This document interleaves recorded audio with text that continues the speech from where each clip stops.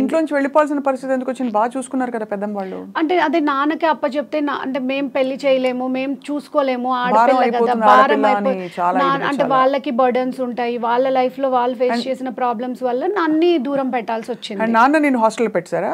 నానేం పెట్టలేదు. యూనో నేను నా నేను నన్ను ఇంటర్మీడియట్లో ఉన్నప్పుడు నేను ఒక హాస్టల్లో ఉండేదాన్ని. ఎలా అంటే నేను ఇంటర్లో ఉన్నప్పుడు నాన్న నన్ను ఒక హాస్టల్లో పెట్టాడు. ఫీజు సరిగ్గా కట్టలేదు.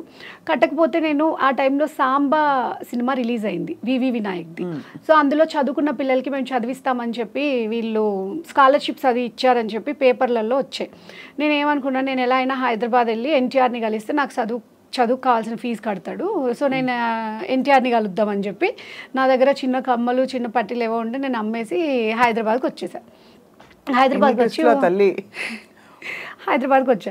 హైదరాబాద్ వచ్చిన తర్వాత నేను ఒక ఆటో పట్టుకొని నేను ఇలా వెళ్ళాలి అంటే ఆ ఆటో వాడు తీసుకొని వెళ్ళాడు. వాళ్ళ వాళ్ళ ఆఫీస్కే తీసుకెళ్ళాడు కరెక్ట్గా తిరిగి తిరిగి తిరిగి వెళ్ళాం.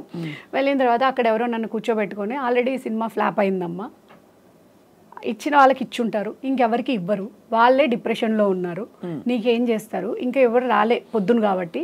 పది పదకొండు తర్వాత వస్తే చాలా మంది ఉంటారు. ఇది అంత మంచి ఆఫీస్ కాదు. మంచి ఆఫీస్ అంటే ఈ ఇండస్ట్రీ అంత మంచిది కాదు. ఒకరు మంచిగా ఉంటారు ఇంకొకరు వేరేలాగా ఉంటారు. నీకేమీ తెలీదు. నువ్వు ఇక్కడే ఉంటే నీ లైఫ్ ఏమైపోతుందో తెలీదు. దయచేసి మీరు వెళ్ళిపోండి. అప్పుడు ఎన్నేళ్ళు నీకు? అప్పుడు పదిహేను ఏళ్ళు. వామ్మో తల్లే. మీరు వెళ్ళిపోండి మీ ఊరికి. ఇక్కడ ఎవ్వరు నీకు హెల్ప్ చెయ్యరు. అట్లా రాకూడదు అని చెప్పి అతను ఎవరో ఐ ఆల్వేస్ ఫీల్ దట్ అతను నాకు దేవుళ్ళలాగా హెల్ప్ చేశాడేమో అనుకుంటాను అవును లేకపోతే పదిహేనేళ్ళ పిల్లవి ఏ లోక లోక జ్ఞానం లేదు అంటే నన్ను ఎవడైనా ఎత్తుకెళ్తే కూడా అడిగే వాళ్ళు కూడా ఎవరు లేరు. ఆ, నీకు కూడా తెలియదు అసలు ఎత్తుకెళ్తున్నారని ఫస్ట్ టైం పడుతుంది. ఎత్త- ఎత్తుకెళ్ళిపోయినా అడిగే వాళ్ళు లేరు. ఇప్పుడు అందరు ఉండి కూడా పిల్లలు కిడ్నాప్లు అవుతున్నాయి అవి అవుతున్నాయి ఇవి అవుతున్నాయి అంటే అంత సెక్యూర్డ్గా పెరుగుతుంటే కూడా భయం వేస్తుంది. అప్పుడు నాకు అసలు ఏమీ లేదు. అండ్ ఇంత సెక్యూరిటీ కూడా లేదు మనకి.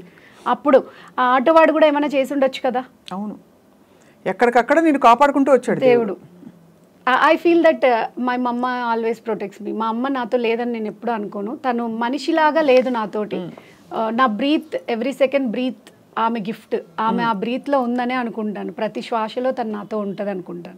తర్వాత చిరంజీవి గారి ఇంటికి వెళ్ళాను. వాళ్ళు అసలు రానిలేదు. లోపలికి కూడా. వాచ్మెన్ బయటకు వెళ్ళిపోమని చెప్పాడు. నేను ఐ వెంట ఇది ఇది కాదు ఇక చంద్రబాబు నాయుడు దగ్గరికి వెళ్తాను. ఆయన అయితే చేస్తాడు ఖచ్చితంగా అని చెప్పి ఆయన దగ్గరికి వెళ్ళాను.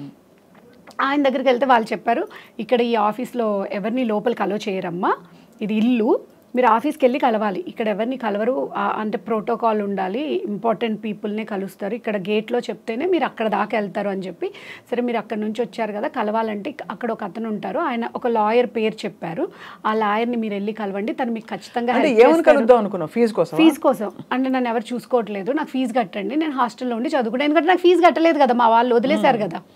చాలా దారుణం తల్లి బాబోయ్. నేను ఎక్కడికి వెళ్ళాలి? హాలిడేస్ వచ్చాయి నాకు. అందుకు వచ్చినాను నేను.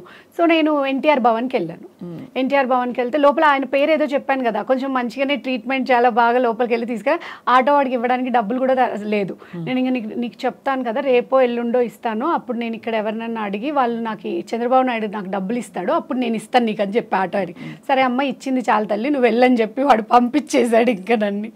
సో దెన్ నేను ఆ టైంలో కరెక్ట్గా వినాయక చవితి వచ్చింది. దానివల్ల ఏంటి వన్ వీక్ హాలిడేస్ ఆయన రాలేదు. ఆఫీస్కి. కానీ నేను అక్కడే ఉన్నాను. సెవెన్ డేస్ కూడా ఎన్టీఆర్ భవన్లో.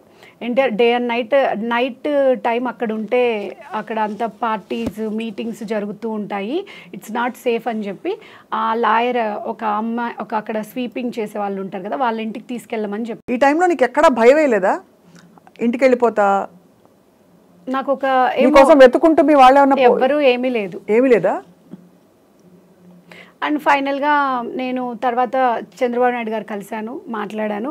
ఆ లోపు నాకు అక్కడ ఏదో జెమినీ టీవీ వాళ్ళది ఒక ప్రోగ్రామ్ జరుగుతుంటే నేను భలే మాట్లాడుతున్నాను యాంకరింగ్ ట్రై చేయొచ్చు కదా అన్నారు వాళ్ళు. నేను అడిగా నేను యాంకరింగ్ కూడా చేస్తాను సార్ నన్ను పంపియండి అని అడిగాను చంద్రబాబు నాయుడు. చంద్రబాబు నాయుడు జెమినీ టీవీలో రిఫర్ చేశారు. రాధాకృష్ణన్ గారు అనుకుంటా something Anuradha Chandrababu Naidu I still remember the names Radhakrishnan గారికి చెప్పారు. చెప్పండి జెమినీలో అంటే జెమినీలో అనురాధ మేడం ఉండేవాళ్ళు. ఆవిడకి చెప్పారు. ఆవిడ చెప్తే వెంటనే ఆడిషన్ అది చేసి కొంచెం ట్రైన్ అప్ చేసుకోవాలి పెట్టుకుంటాంలేండి అని చెప్పారు. అయితే నాకు ఇంకా కన్ఫామ్ అయిపోయింది. నేను ఇంకా చదువుకోవచ్చు నేను ఇక్కడే ఉండొచ్చు నేను ఇంకెవరికి అక్కర్లేదని చెప్పి నాకు వాళ్ళు ఆ లాయర్ గారు ఒక టూ థౌజండ్ డబ్బులు ఇచ్చి నువ్వు ఊరెళ్ళమ్మా ఊరెళ్ళి మీ ఇంట్లో వాళ్ళందరికీ చెప్పేసిరా అక్కడ నీకు ఏమైనా ప్రాబ్లం అయితే మేము సపోర్ట్గా ఉంటామని చెప్పి పంపించారు. నేను హైదరాబాద్ మళ్ళీ నేను మా ఊరు వెళ్ళిపోయాను. మా ఊరు వెళ్ళిన తర్వాత మా పెదనాన్న మా డాడీ వాళ్ళ బ్రదర్ వాళ్ళ ఇంటికి వెళ్ళాను. అంటే మా అమ్మ వాళ్ళ ఇంటికి వెళ్ళడానికి లేదు కదా వాళ్ళ ఇంట్లో నుంచి నన్ను పంపించేశారు కదా. సో మా పెదనాన్న వాళ్ళని నువ్వు ఎక్కడెక్కడో తిరిగా నువ్వు ఎవరితోటో వెళ్ళిపోయి వచ్చావు ఇన్ని రోజులకి మేము నమ్మం నిన్ను అది ఇది అని చెప్పారు. అయ్యా. అరే నా దగ్గర అన్నీ ఉన్నాయి చూడు వాళ్ళు ఇస్తారు కదా మనకి ఆఫర్ లెటర్ అది అంటే they won't trust me so okay. నేను మా ఏం చేయాలో తెలియక మా హెడ్ మాస్టర్ గారు ఉంటారు ఆయన ఇంటికి వెళ్ళి సార్ ఇట్లా అయింది ఏం చేయాలో నాకు తెలియట్లేదు అంటే సరే నీకు ఒక లాయర్ ఉంటారు ఆయన దగ్గరికి వెళ్ళి కలువు ఆయన ఏం చెప్తాడో చూద్దామని చెప్పి పంపించారు.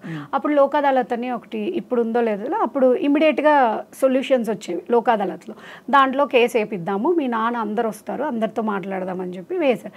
అప్పుడు జడ్జి గారు ఏమన్నారంటే నువ్వు ఇంకా మళ్ళీ హైదరాబాద్ వెళ్ళొద్దమ్మా ఇంకా చిన్న పిల్లవి నీ లైఫ్ స్పాయిల్ అయిపోతే చదువుకో అని చెప్పి మా డాడీ వాళ్ళతో మాట్లాడి ఇక్కడే ఒక ప్రొటెక్షన్లో ఉండేలాగా ఇక్కడే చదివిద్దామా అమ్మాయిని అని చెప్పి జాయిన్ చేశారు. అంటే ఫీజు సరిగ్గా కట్టాలి నువ్వు అని చెప్పి మా డాడీకి కొంచెం భయం పెట్టి జాయిన్ చేయించారు మళ్ళీ ఏమైంది? ఎవరింట్లో అయితే నేను ఉండి నన్ను ప్రొ అంటే టేక్ కేరర్గా చూసుకుంటున్నారో వాళ్ళు నన్ను చాలా మిస్యూజ్ చేసుకున్నారు. నా పేరు చెప్పుకొని అంటే వే మేము ఈ అమ్మాయిని చదువు మా డాడీ ఫీజు కడుతున్నా మేము చదివిస్తున్నామని చెప్పుకోవడము అలా అలా. ఇంటర్మీడియట్ రిజల్ట్స్ వచ్చాయి ఫస్ట్ ఇయర్. అండ్ వాళ్ళు సరిగ్గా చూసుకోకుండా ఏం చెప్పారు? అంటే నెంబర్ అది సరిగ్గా వెతుక్కొని నేను వేరే ఊర్లో ఉన్నాను నువ్వు ఫెయిల్ అయ్యావు ఫెయిల్ అయ్యావు అని చెప్పారు.